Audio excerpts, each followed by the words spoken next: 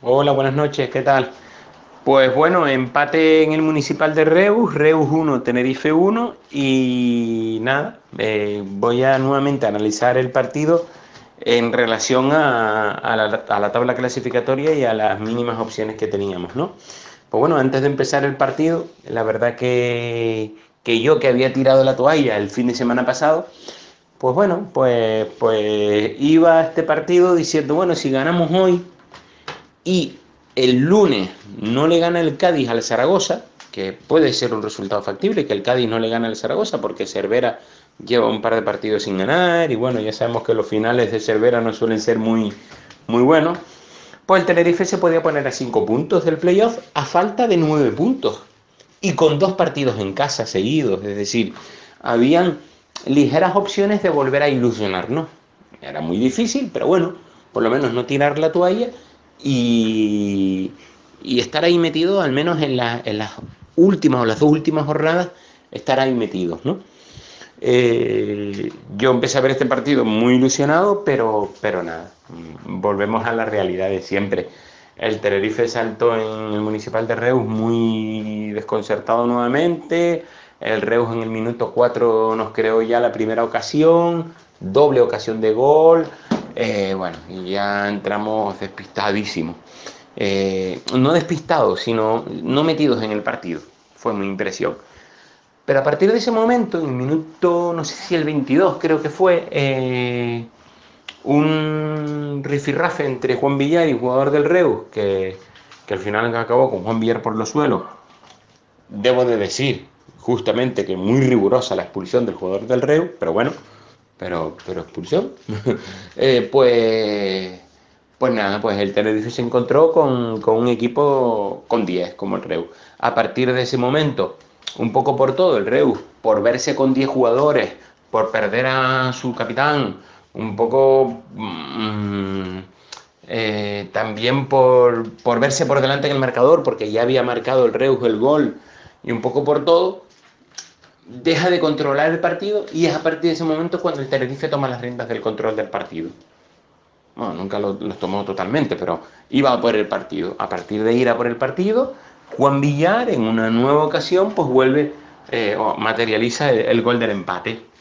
Eran los mejores momentos del Tenerife y creo que ahí antes del descanso había que haber sentenciado el partido, pero no pudimos. Se llegó al descanso con 1-1, pero con la expectativa de encontrarnos al Reus con 10 en la segunda parte, el partido más desgastado y con la opción y con la ilusión de, de, de marcar un gol porque, porque así es como nos habíamos despedido de la primera parte. Pero nada, nada más lejos de la realidad.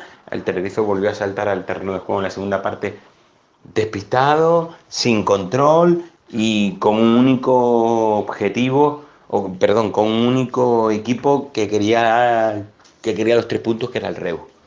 Incluso nos sentimos afatigados entre minutos 60 y 70. El Reus tuvo tres ocasiones clarísimas, totalmente clarísimas para ponerse por delante, pero que no, no pudo ser así, unas veces por fallos de ellos y otras veces por, por buenas intervenciones de Dani Hernández. Eh, ya los últimos minutos, a partir del minuto 80, un poco, un poco motivado por el cansancio y un poco para no perder el punto que tenían, porque se encontraban con 10, el Reus se echó atrás y fue ahí cuando el Tenerife embotelló al conjunto local, pero sin, con más corazón que cabeza, sin, ya sin, sin ninguna opción clara y, y bueno, y un poco a ver a ver si éramos capaces de conseguir el milagro. Finalmente no se consiguió ese milagro y bueno, pues 1-1, tabla, un juego nuevamente plano desde mi punto de vista. Eh, y nada, y este resultado ya sí es definitivo. Había una ligera opción de si ganábamos hoy, pero bueno, ya este resultado ya es definitivo para tirar, para tirar, sí, totalmente la temporada. Eh, sigo pensando lo mismo que pensaba semanas atrás. Me asusta mucho el final de temporada que está tomando Echeverría. Eh, me encanta él como entrenador. Creo que es de las pocas cosas salvables de este Tenerife. Pero estamos entrando ya en una dinámica de cinco partidos consecutivos sin ganar. Y, ya asusta un poco. Porque creo que, creo que hay que despedirse por muchos motivos. Por la afición porque quedar lo más arriba posible nos viene bien económicamente, por, por, por 20.000 por 20 opciones nos viene muy bien despedirnos con victorias y, creo que es lo que, lo que hay que hacer en el siguiente partido en casa, por mucho que sea el Sporting el que nos visite. Así que nada, mm, a ganar por orgullo y, por mantener la cabeza alta el próximo fin de semana, eh, que va a ser el viernes el partido, ganarle al Sporting y nada, y, y como dije el otro fin de semana, que acabe cuanto antes también esta temporada, porque ya para, para el juego que está ofreciendo el equipo, poco, poco vale ya esta temporada. Pero bueno, despedirla con victoria. ¿Vale?